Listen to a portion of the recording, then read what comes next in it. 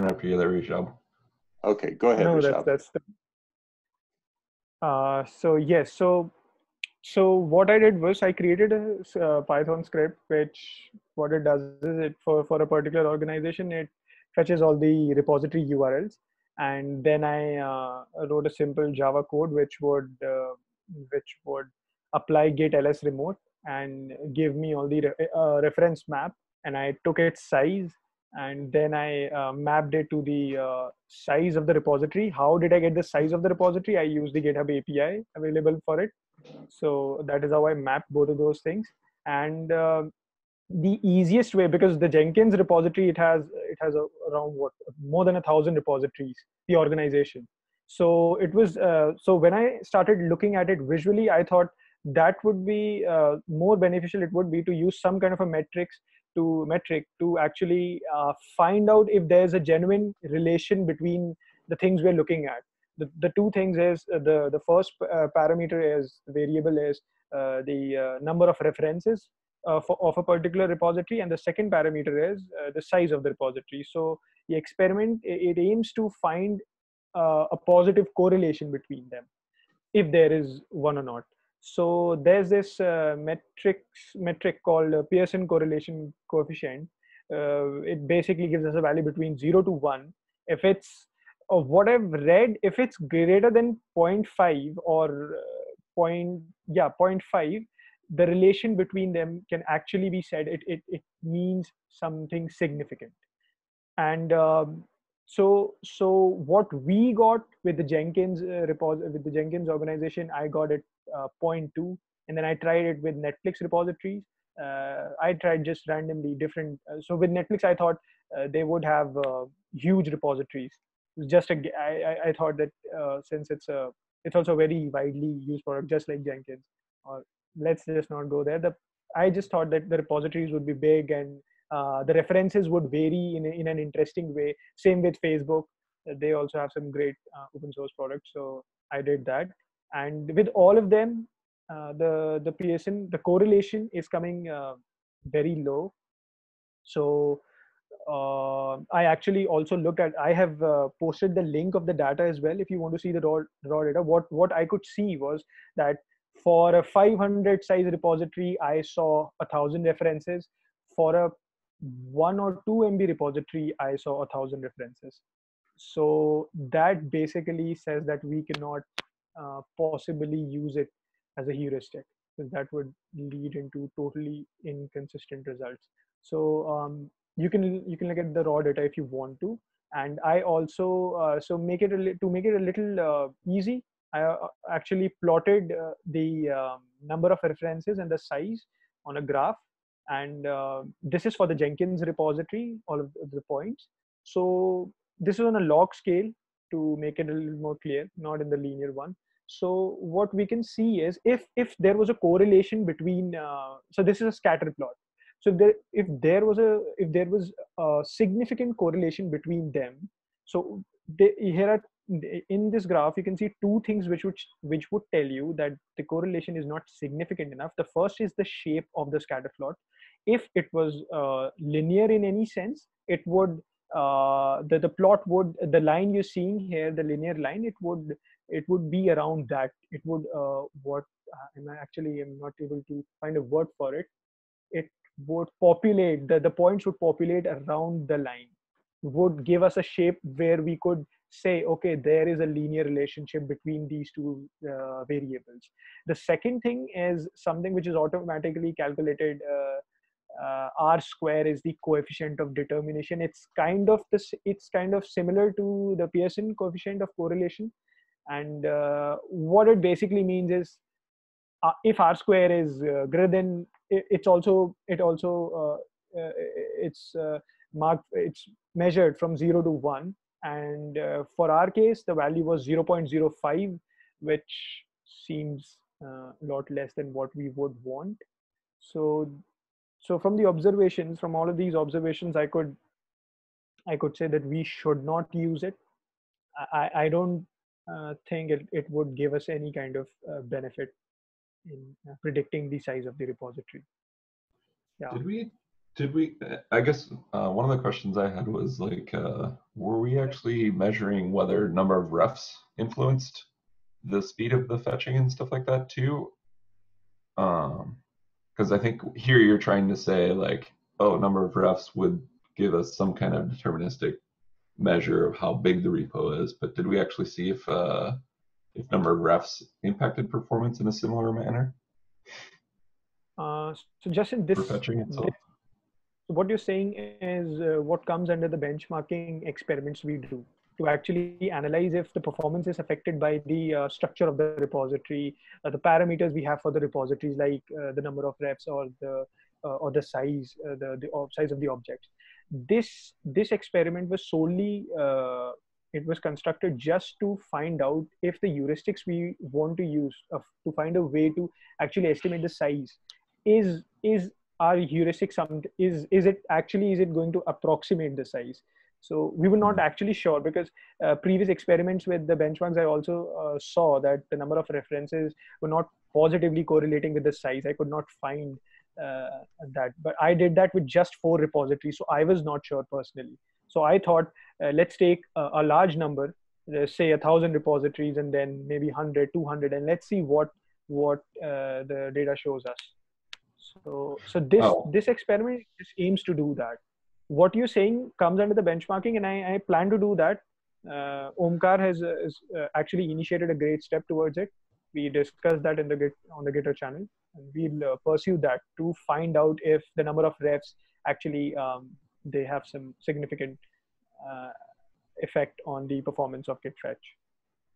My apologies. I uh, just realized that that that's, was something in our in our next phase also. Oh, so, but this is fantastic. Uh, this is really good data, regardless of. Uh, I should have started with that. But this is really good data. Okay, so. Um... Yeah, so that that graph that you just presented is brilliant at showing the the question I had. Hey, could I see the raw data? You just showed the raw data with that graph. You, are uh, it's it, it, to me it looks very clear. No way should we trust the, the output of LS remote as, a, as any kind of an approximation of the actual size of the repository. There's just not enough relationship between the two to trust that data. So, so better to say no heuristic using LS remote than to use, use it and have it be wrong so frequently. Good, yes, excellent, yes. well done, very good. Thank you. So um, after that, so the question I had after finding this, I, I found this on Sunday, I think. And then I had the question that, so what should we, so the, the, the estimator we have now, uh, it has only two uh, possible heuristics right now we have. And the first one is that we look for uh, cache uh, local repository, uh, git directory. If we had have that, then it's the, the best thing we can have. Then the second we were thinking was to, to expose an ex extension for uh, the plugins which provide Git services, uh, SCM services. So, uh, so with with those two heuristics, my concern is that both of them, for both of them, we it's it's like a conditional thing. It's it's not necessary that we will be able to tell the size of the repository because if some if Git if the um, if the GitHub um, uh, plugin, which is depending on the Git plugin, has not implemented our extension, we will not be able to uh, use that uh, the GitHub APIs to determine the size. It's a sure shot way to know the size that we know. But if we're exposing it as a, uh, I, I assume that if we expose it, it as an extension, it depends on the plugins which are implementing that extension. Only then we can use that heuristic. So that makes us prone to this uh, to the fact that whatever heuristics we have they uh, they are conditional in the sense that they might work or we we might tell the size we will be accurate about it but there is an equal op- uh, probability that we will not be able to use the estimator uh, api altogether. So that is something i'm a little um, as a little actually upset that uh, we should why does git not provide anything which uh, which would not depend on any uh, service provider or the local cache? So i actually started to look into uh, the git internals that is the plumbing commands git provides and it was actually a very uh, confusing and long road. It seems like a long road and i uh, i started to look into it. I, I was looking into how git fetch is implemented and then i uh, so then i had this idea that i should look into the jgit source code because they've all, they've implemented it in java and I, I know a little bit of java so that's the best way to uh, actually look into it. So i started looking into the classes and then i actually found a class called uh, pack configuration which uh, so so so i thought that we could have a heuristic which would estimate the size which would actually uh, estimate the size of the pack object the compressed object. And if we know that we have a lower boundary uh, on the size of the repository which is is something if we don't have any kind of size. But uh, so the pack config is basically a configuration which uh, when jgit is trying to uh, pack the object so what i'm not able to figure out is so what i saw actually to my own dis, uh, to my own um, self is that uh, to pack an object or to use that pack config class jgit is basically downloading those packed object first and it assumes that it exists in a local repository. So so that kind of uh, disappointed me and i and i it's leading to uh, i think an observation that it might not be possible for us to look at a remote git server and then just look at the packed object and get its size. Uh, as, as far as i can understand uh, how git is written it's it's meant for us to download the pack object first and then do anything we want to with it. It's not possible for us to look at it and then decide if we want to download it or not. Look at the size. Uh, i i was thinking that maybe uh, uh, so i was also looking at the transfer protocols git provides but i was not uh, able to figure out anyway. I looked at stack overflow. I looked at a lot of internet resources but people have not found any consolidated way to do this. So uh, I'm actually confused there. Is, is it even possible? It, the heuristic in itself sounds interesting, but uh, I'm not sure if it's possible. Uh, Rishabh, I think what I think is like uh, like trying to get the details of the dot pack object is somewhat similar to the square one approach that we were trying to get the count object git count object uh, command. It is somewhat similar. Like uh, if that's possible to get uh, get the remote details with that command, then it will be possible. Uh, just check check the uh, similarity between that. I think there would be some similarity.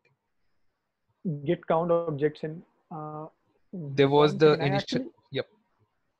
For git count objects, I forgot. Did we actually look at uh, did we point it to a remote uh, repository or a local repository? Were we counting i think we uh, we we count we were counting the local repository. I think so. Then it would not we actually need something which would yep. point at the remote repository and give us yep. so uh, yes. Yeah so so, so, I, so the I issue think there is there is yeah. some similarity between these two like in pack objects that this count gives and the dot pack you are looking at but Omkar, my question is that uh, even if we look at how Git count object is working, Git count object object assumes that we have the local, uh, we have the right. repository in, uh, on our local yep. system. But what we want is we don't want to clone the repository. We want to look mm. at the remote server and get the size. So I, am not sure if right. this would give us the answer. Uh, yes, to, this is um, this is not giving us the answer. But what I am trying to say is, if you can uh, if this provides some functionality to look into the remote, that would be somewhat similar to what you're looking for. Dot, and, dot pack object. Yep. Yeah, I was I was taking Omkar's comments to mean that git count objects is another evidence that what we're what we were thinking we could do is probably not feasible. Right? There isn't a way to ask the remote repository, give me your size, except through an API call like GitHub.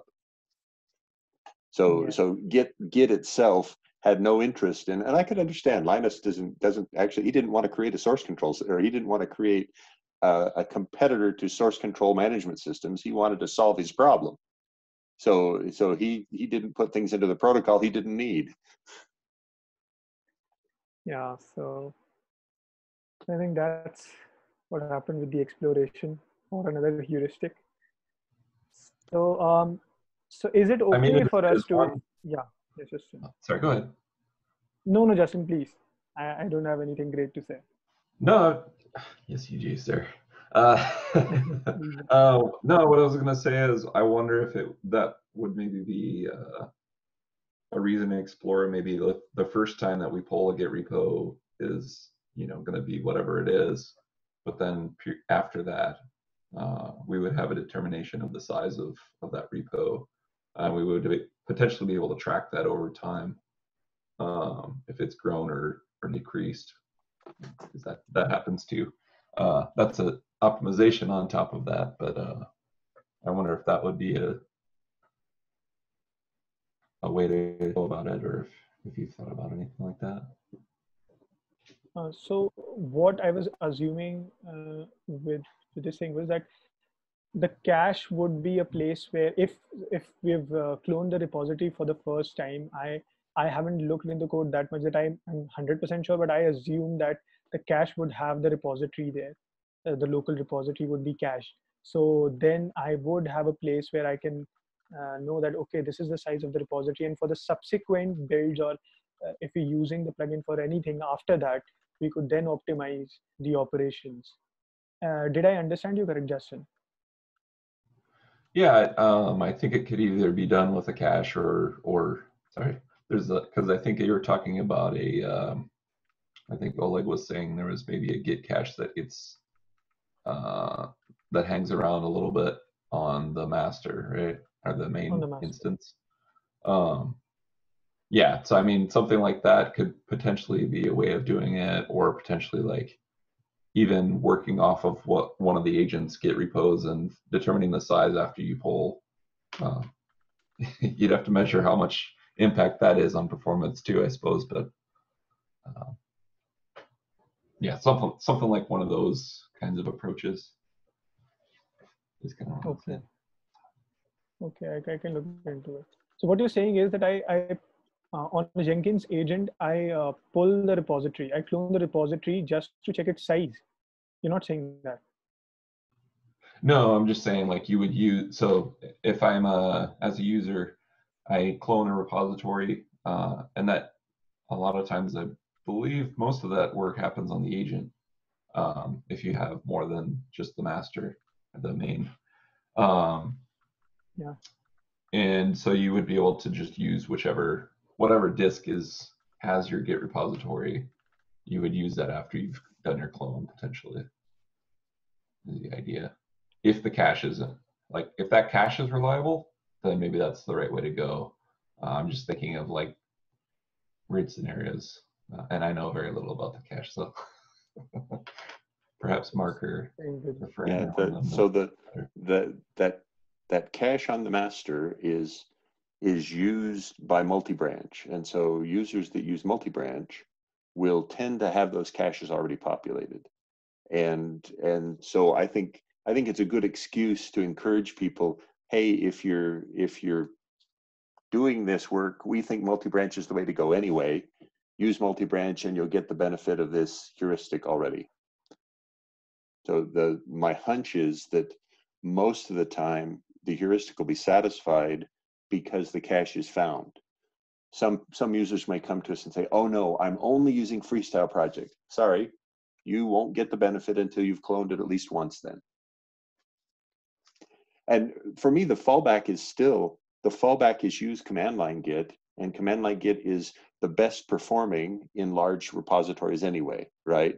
Therefore, the places where we could gain benefit by switching to JGit look like they are smaller repositories where we might get faster, but the, the total savings is incrementally much, much less by the switch from command line Git to JGit on small repos, right? There's, they didn't take long to clone originally. Yes, exactly. Uh, so Mark, I was uh, just wanted to um, ask, is, is this the cache you're talking about, locking the cache uh, in the multi-branch project? That's the one. Okay. Yeah, and I, I'm not even sure you need to acquire a lock because I think all you want to do is read directory contents. And if it's inconsistent or imperfect, you just don't care. You're just trying to get a quick approximation. So I don't even think you need to acquire the lock.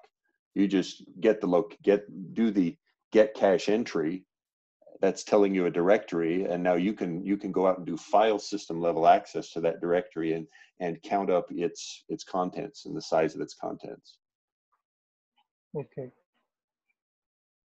Okay i'll look into it. So uh,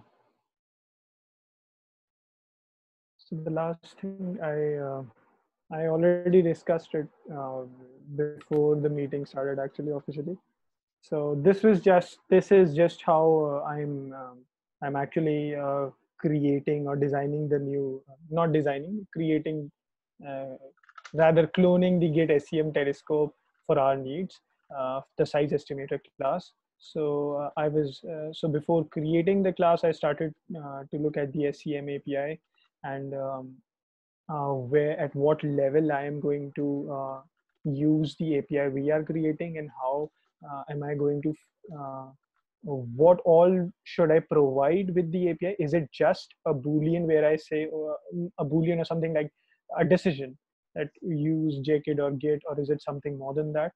I was uh, i was looking at those things. And uh, it's mostly exploration right now. I haven't created a prototype even but i, I was thinking that first understand uh, the level above the git scm that is where the builders work. uh, to understand it first well and then uh, use the class because that's where the class is going to be used. So uh, might as well understand the uh, overall process first as much as i can and uh, write the prototype. So so with this um, so this is what i've done with that uh, the git size estimator class. Yes so uh, yeah this is this is it right now. So the takeaway i have is that uh, we have uh, two heuristics right now and we would want to work with those. We're not looking at i should not look for something else because i i invested a lot of time in into looking into the git internals and jgit and uh, so i i should probably should i uh, explore it more or should i uh, work with the heuristics we have? Okay heuristics for me anyway unless the other mentors have a different opinion for me the heuristics that those two are already going to solve many many cases and no heuristic the fallback is still okay right? Our fallback our fallback decision use command line git is not a bad decision. Is not a bad decision yes. Unif yeah that's true. If if the heuristic okay. it, it's disastrous if the heuristic is wrong and the heuristic tells us that the two gigabyte Linux kernel should be downloaded by JGit, that's a disaster, mm-hmm. right? That, that's but, a, but that's an unlikely yeah. uh, unlikely outcome given the given the, the correlation, the negative correlation or the non-correlation you found between our, our estimators and and repository size. Yes. Okay, so uh, I guess this is it. I'll, uh, so, so I'll I'll be updating the track. Yeah. Yes, Mark. I, I had a, a minor business item. I'm going to be out next week. My son in his mid 20s is getting married. And so I will be I will be unavailable a week from Friday because we'll be in the middle of all sorts of things in a neighboring state. Uh, and uh, I probably will be unavailable a week from today. So I'm I'm not. I, we may need to have someone else host the Zoom session um, Rishabh, if you want to create that, you can do a, a private or you could create your own Zoom account. They'll do free free sessions up to 40 minutes. So that yes, would limit the session, but you could do it that way, then then host it. I apologize, I can't, but my son's that, getting married okay. and I'm delighted. that's a great thing. Congratulations, Mark, for that. Congrats. Congrats. Yeah, he's he's he's a grown up now. I, I it's it's wonderful. We're we're delighted with that. it's a great thing. I, I'll host the meetings with my uh, personal Zoom account. That's okay. Great, thank you. You okay? Okay, you will be unavailable uh, from starting this Friday. I, this I, will Friday? be here. I will be here this Friday. I will attend our okay. session this Friday next Wednesday. I will not attend. I will probably not attend next Wednesday. I will definitely not attend next Friday. but I will be here this Okay. Friday. Okay. Thanks, Mark. All right. Okay. So, uh, yeah. Uh, okay. Thank you, guys.